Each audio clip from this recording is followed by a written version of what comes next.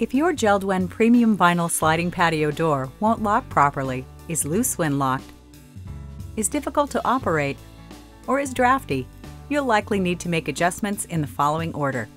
Adjustments to the rollers, adjustments to the latch, and adjustments to the strike. We have videos available that will show you how to make all three adjustments. For best results, make the adjustments in this order.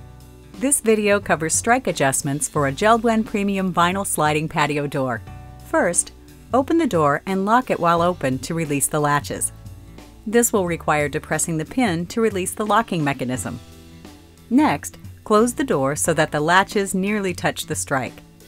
Now, make index points to show where the proper strike position should be.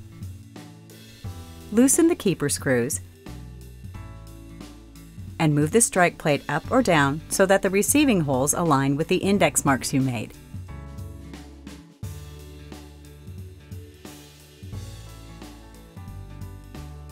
Once aligned, retighten the keeper screws, then close and lock the door to confirm the strike plate is in the proper position.